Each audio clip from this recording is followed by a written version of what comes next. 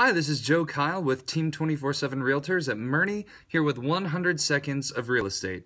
My 100 seconds begins now. If you're a peasant like me, you're probably not going to pay cash for your home, so the first thing I'd recommend as a buyer is to go talk to a lender. You'll know how much house you can afford, and your lender can provide you with a pre approval letter that we'll provide to sellers when we write an offer. After scouring the dark recesses of the MLS, Zillow, Trulia, Realtor.com, Craigslist, and the rest of their ilk, we'll finally find your dream home. The next step is to put in an offer, and this may result in a series of counteroffers until we come to an agreement on price. Some other things that can be negotiated for at this stage of the process are payment of closing costs, home warranties, and inclusions of items such as refrigerators, washers, dryers, cats, and children. Just kidding, nobody wants cats.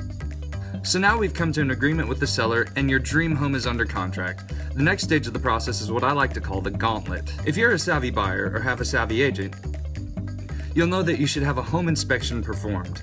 Based upon this inspection, you can ask the sellers to repair the major issues that we in the biz refer to as material defects. Material defects are those issues that are not immediately apparent to a buyer that may have a significant impact on the home, such as foundation cracks, termite activity, plumbing issues, hippie infestations. If your deal is going to fall apart, this is the stage where it's most likely to happen, which is why it's so important to have an experienced, savvy, good looking agent who can guide you through this difficult process. Once you and the sellers have come to an agreement as to what will and will not be repaired, you can maybe start to enumerate your unhatched poultry.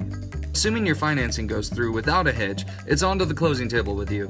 At closing, you'll sign a mountain of paperwork, after which your numbed, carpal tunneled hand will stretch out to gratefully receive the keys to your new dream home. And that's the buyer process. Thanks for watching 100 Seconds of Real Estate. If you have any questions, feel free to contact me by any of the methods listed below. And if you have any topic suggestions for 100 Seconds of Real Estate, please comment below.